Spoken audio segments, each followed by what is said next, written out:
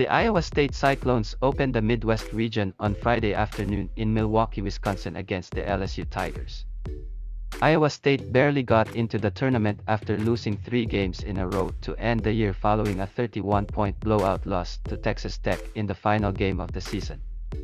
Offensively Iowa State was terrible against Texas Tech making 31.3% of their shots and turned the ball over 20 times leading to the loss for the season Iowa State has two players averaging double figures as Isaiah Brockington leads the team scoring 17.2 points per game to go along with a team-high 7.1 rebounds.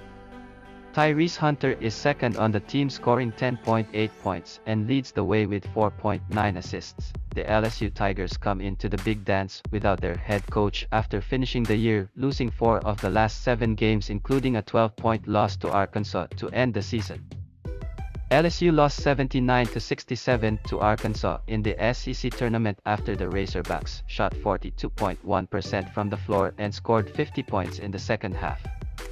The LSU offense struggled against Arkansas, making only 35.3% of their shots and 21.1% from beyond the arc. Darius Days led the way for LSU starters, scoring 14 points to go along with a team-high 10 rebounds in 29 minutes.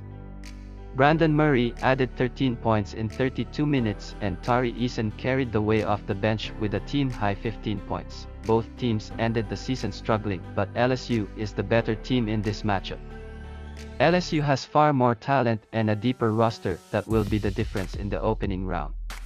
Take LSU to do enough Friday night in Milwaukee to win and advance. Take LSU Tigers minus 4.5.